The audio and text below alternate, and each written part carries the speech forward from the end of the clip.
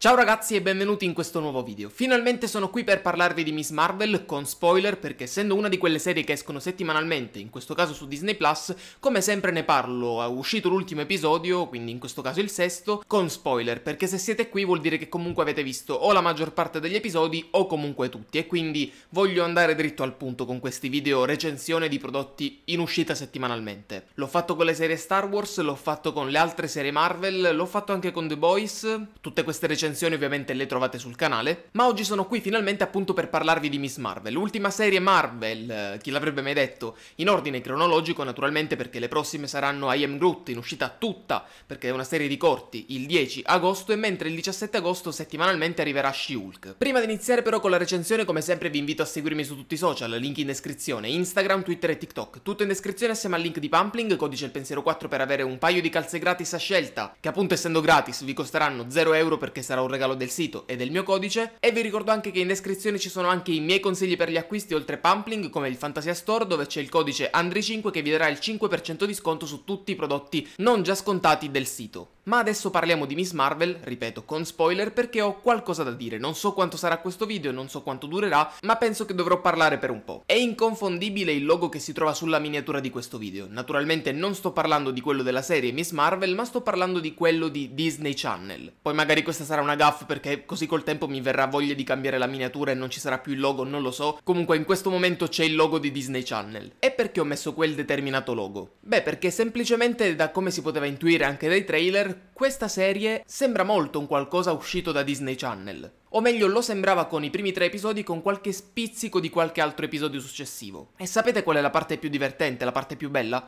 Che la serie era molto meglio quando sembrava qualcosa uscito da Disney Channel. Quando è diventata un prodotto di Disney Plus, eh, come le solite serie Marvel, per quanto mi riguarda ho rivalutato molte serie MCU uscite in questi, in questi due anni, in quest'anno e mezzo in realtà, Finora quella che continua a piacermi molto è WandaVision, ma non tanto per la serie, però per quello che ho provato guardandola, comunque l'attesa che c'è stata da eh, Far From Home appunto all'inizio della fase 4, l'attesa che c'era settimana per settimana è qualcosa che non ho provato più con le altre serie, quindi WandaVision mi è rimasta un po' impressa. E difficilmente, almeno in questo momento, potrei rivalutarla in peggio, però le altre serie, beh, sta succedendo un po' così. Non attendevo Miss Marvel, non me ne poteva fregare tantissimo in realtà, i trailer non mi avevano convinto al 100%, mi avevano fatto un po' salire l'hype, hype, l'interesse per la serie, ma non, non così tanto. Ma quando poi è arrivato il primo e diciamo anche il secondo episodio una settimana dopo, mi sono appassionato alla storia e soprattutto ai personaggi, cosa che non succedeva da tanto. Sto parlando soprattutto, ripeto, soprattutto per i personaggi secondari. Ho odiato fin dall'inizio le persone stupide, lasciatemelo dire, che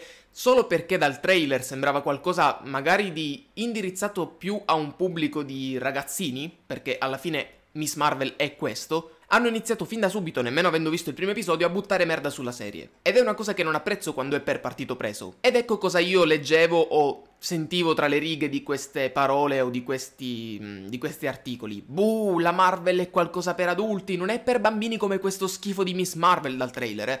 Non è per bambini, è qualcosa di più cupa, di più adulta, qualcosa di più spaventosa. Moon Knight, per esempio, quel personaggio fantastico che ha degli episodi stupendi, che ha una storia magnifica, che ha una serie di merda sostanzialmente. Però sfortunatamente Miss Marvel, che sembrava la luce della ragione in quel momento, ovvero una serie finalmente decente, all'interno del catalogo Disney Plus Marvel Cinematic Universe, Ecco, dopo metà del terzo episodio scende. E scende perché smette di essere quello che avrei voluto da una serie del genere, una serie di Disney Channel. Diventa una solita serie MCU, diventa qualcosa che abbiamo visto e rivisto, soprattutto la struttura del, degli ultimi episodi. Il quinto episodio è l'episodio flashback che ormai c'è da quante, da quante serie, non ricordo. Allora, Moon Knight ce l'ha sicuramente, perché il quinto episodio che poi nemmeno così bello era, appunto essendo Moon Knight eh, de- dell'ospedale. Poi WandaVision, quella che mi ricordo sicuramente c'è Agatha che fa ricordare le robe a, um, appunto a Wanda. E poi non penso ci sia in altre serie, ma sicuramente fa strano vedere che il penultimo episodio di queste serie è quello flashback. Soprattutto nei casi che ho detto. Ora, magari se c'è qualche altra serie, non ricordo, non la vedo da un po'. Forse in Loki c'era qualcosina? C'erano molti flashback su Sylvie da piccola, probabilmente, fatemelo sapere con un commento. Ecco, fa abbastanza ridere che il penultimo episodio in ogni caso sia quello flashback, quello pas- del passato, dei ricordi, eccetera, eccetera. Anche qui c'è, infatti. E abbiamo un veloce sguardo alla vita della bisnonna di Kamala. Veniamo a scoprire che è stata Kamala a salvare la nonna, a salvare lei portandola dal padre con quelle stelline luminose. L'avevo previsto era super prevedibile già dal primissimo momento in cui vengono citate queste stelline. Ma dove sta l'enorme problema di questa serie, a parte il cambio di direzione verso la metà del terzo episodio, che la rende qualcos'altro, anche a livello registico e di, di fotografia in realtà, e anche qualche scelta stilistica, per esempio i messaggini qua e là che compaiono, beh, quelle vanno, vanno letteralmente scomparendo. C'è qualche messaggio ogni tanto, ma è un messaggio di una chat stampato sul finestrino, proprio con il messaggio, non tutte quelle cose fighe che mi piacevano. Due, tre episodi, non ricordo se nel terzo ci fossero queste cose. Il più grande problema di questa serie, dopo il terzo episodio, sono i personaggi comprimari e antagonisti. I Jin, che giocano un ruolo da antagonisti villain in questa, in questa serie, ma soprattutto i pugnali rossi. Questi due gruppi sono totalmente insensati, sono odiosi almeno per quanto mi riguarda, cosa contraria invece per i personaggi comprimari, per i personaggi secondari della vita fuori Pakistan, quindi la famiglia, eh, gli amici. Però non mento dicendo che ho odiato i Jin e ho odiato i pugnali rossi, soprattutto i personaggi principali di questi due gruppi, quindi il ragazzo, non ricordo come si chiami, assolutamente, e la tizia, non ricordo come si chiami, scusate. Fortunatamente i Jin muoiono tutti, a parte Kamran, che è il, il, secondo interesse amoroso. Poi ce ne sono tre di interessi amorosi, ma vabbè, è una ragazza. Anche Peter Parker è un po' strano sotto questo punto di vista, ma perché sono appunto ragazzi, quindi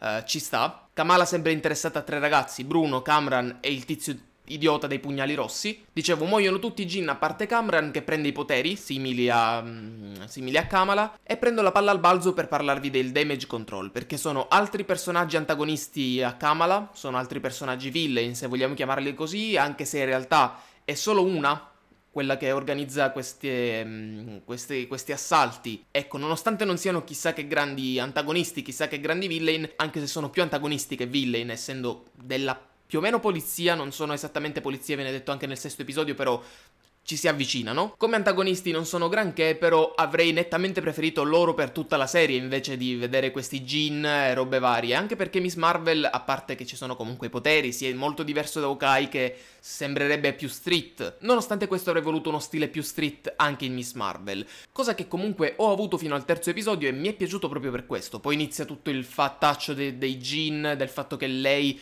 eh, Kamala, è una Jin a sua volta, quindi ha dei poteri discendenti da una famiglia, lei torna indietro nel tempo, robe varie. E proprio per questo non mi è piaciuto. Volevo che tenessero lo stile delle prime tre puntate. Non sarebbe piaciuto a coloro che guardando un prodotto Marvel si vogliono sentire adulti e quindi se c'è qualche sbocco infantile o per bambini si scandalizzano? Fattacci loro. Sinceramente è meglio di avere un'altra copia fallimentare delle serie Marvel. Cosa che Miss Marvel sfortunatamente è diventata dopo il terzo episodio. Nonostante tutto interessante il fatto che non abbiano mai voluto citare gli inumani totalmente. Nel terzo episodio c'è la tizia dei, mm, a capo dei Jin che continua a dire tu sei, ci chiamano, ci chiamano in questo modo, ci chiamano in un altro modo, ma i rumani non lo dicono. E non lo dicono per un motivo, due in realtà. Il primo è che Kevin Feige, capo della Marvel, capo supremo della Marvel, odia gli inumani, soprattutto dopo che il tizio, non ricordo il nome, scusate, che era capo di Marvel Television, insisteva per inserire gli inumani della serie nel Marvel Cinematic Universe, gli inumani non faranno parte di questo universo. E dico universo perché magari nel multiverso qualche altra comparsa la faranno. Il secondo motivo è che a quanto pare Kamala Khan è il primo mutante del Marvel Cinematic Universe dichiarato. Infatti una delle poche cose ma buone del sesto episodio è che proprio nelle ultime battute, nelle ultime scene, quando è tutto sistemato, quando Kamran è arrivato uh, in Pakistan, quando vabbè, è finito tutto, lei ha il costume, si chiama Miss Marvel, ma di questo ne parliamo dopo, Bruno dice all'amica che nel suo gene c'è una mutazione. Ma la cosa davvero interessante che mi è piaciuta molto è che sotto c'è un motivetto il motivetto degli X-Men. Quindi a tutti gli effetti gli X-Men, i mutanti in generale, sono già nell'MCU. Ora, non so come metteranno giù questa storia, non so come lei effettivamente abbia avuto delle mutazioni, magari è stato il bracciale, una cosa che non apprezzo così tanto. Però devono pur trovare una scusa, ora magari se ne escono fuori con il fatto che i Jin che abbiamo visto finora erano tutti mutanti, però ho apprezzato il fatto che al posto di farla inumana, Kamala, Miss Marvel, qui è appunto una mutante. Anche perché c'è il giochino che nel passato, prima che succedessero tutti, tutti gli imbrogli, tutti i problemi problemi tra Kevin Feige e il tizio di Marvel Television, proprio Kevin Feige voleva inserire gli inumani al posto degli X-Men, perché non potevano, visto che erano sotto diritti del, della Fox ai tempi, tanto tempo fa. Ai tempi gli inumani sarebbero stati gli X-Men del, della situazione del Marvel Cinematic Universe e invece adesso Kamala Khan, Miss Marvel, che è sempre stata un'inumana nei fumetti, qui è una mutante. Non penso entrerà a, fa- a far parte degli X-Men perché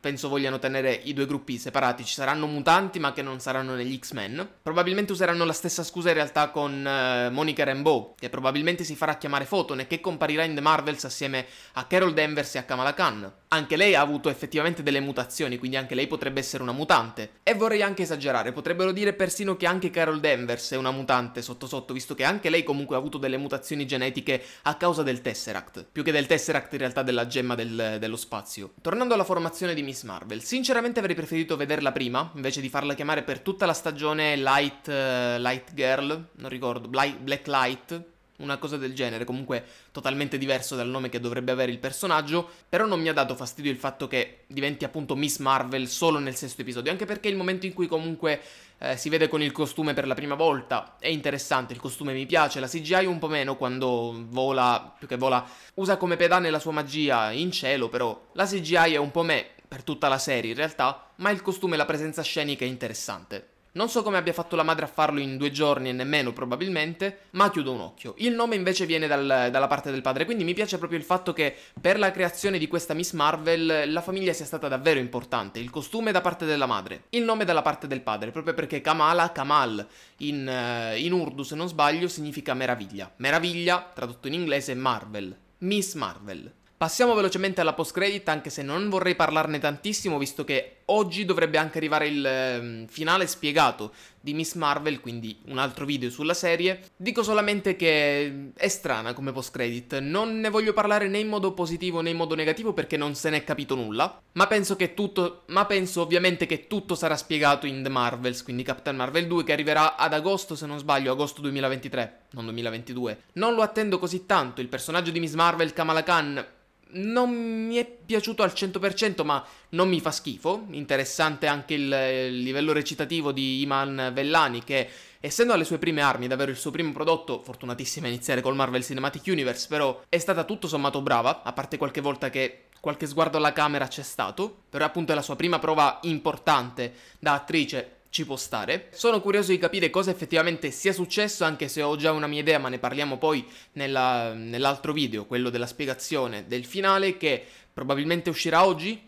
Molto probabilmente uscirà oggi, ma in caso uscirà domani. E niente ragazzi, prima di concludere questo video do come sempre un voto al prodotto che recensisco ed il voto per Miss Marvel è un 6. Aveva davvero del potenziale come serie, ma dopo il terzo episodio, dopo metà del terzo episodio, dopo la prima metà del terzo episodio diventa qualcos'altro, è qualcosa che non mi ha fatto impazzire più di tanto. Il sesto episodio lo salvo per metà, per alcune rivelazioni, per alcune scene interessanti, ma non, non al 100%, quindi lo metto per metà, tra, tra, quelli piaciuti e tra quelli non piaciuti, però il quarto e il quinto sono qualcosa che non ho, non ho apprezzato, soprattutto per i personaggi secondari, appunto i villain eh, e il, um, il tizio dei, dei, dei, Red Dagger. Quanto sarebbe stata bella questa serie se fosse stata per tutto il tempo come i primi due episodi o i primi due episodi e mezzo. Ma ragazzi, fatemi sapere con un commento qui sotto cosa ne pensate. Potete tranquillamente fare spoiler visto che il video intero è spoiler, eh, perché appunto, ripeto, Faccio sempre così per le serie che escono settimanalmente. Vi invito come sempre a seguirmi su tutti i social, link in descrizione, Instagram, Twitter e TikTok. Vi ricordo che in descrizione trovate anche il link di Pumpling del Fantasia Store. Rispettivamente ci sono i codici Il Pensiero 4 che vi dà la possibilità di scegliere un paio di calze, inserirle nel vostro carrello e vi costeranno 0 euro, essendo un regalo del sito e del mio codice.